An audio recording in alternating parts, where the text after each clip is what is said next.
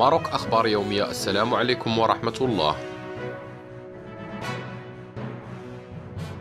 أوقفت عناصر الشرطة بمنطقة أمن سيد البرنوسي بالدار البيضاء مساء أمس الأربعاء تسعة أشخاص تتراوح أعمارهم ما بين 20 و 25 سنة. من بينهم مسير مقهى وثلاث سيدات للاشتباه في تورطهم في قضية تتعلق بإعداد محل للدعارة وتسهيل البغاء واستهلاك المخدرات وخرق حالة الطوارئ الصحية وعدم تنفيذ التدابير العمومية المتخذة للوقاية من انتشار وباء كورونا. وكانت دورية الأمن الوطني بتنسيق مع السلطات المحلية ضبطت المشتبه فيه الرئيسي في حالة تلبس بفتح المقهى الذي يتولى تسييرها بحي السلام إثنان بمدينة الدار البيضاء بعد الإفطار والتي يستقبل فيها الزبناء بشكل سري لتسهيل استهلاكهم للمشروبات والمخدرات وممارسة الفساد فضلا عن خرق قرار الإغلاق المؤقت الذي أمرت به السلطات العامة وصرحت به ضمن التدابير الوقائية والاحترازية المتخذة للتصدي لانتشار وباء الكوفيد 19 كما احتفظت بالمشتبه فيهم جميعا تحت تدبير الحراسة النظرية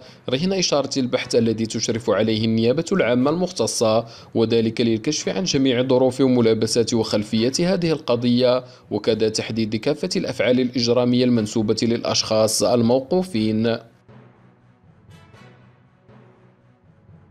نشكركم على حسن المتابعة. قناة ماروك أخبار يومي.